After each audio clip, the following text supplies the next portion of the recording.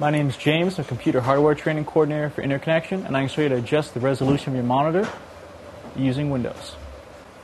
The first step is you right click the desktop, then you go to Properties, Settings, it's a tab up top, and then on the bottom left you'll see less and more and your resolution, such as 1024 by 768.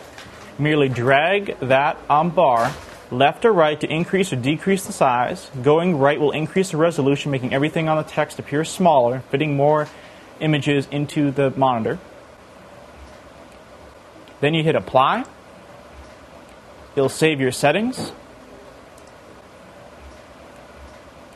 And then you hit OK. That adjusts the resolution on your monitor. My name is James, and I just showed you how to change the resolution on your monitor.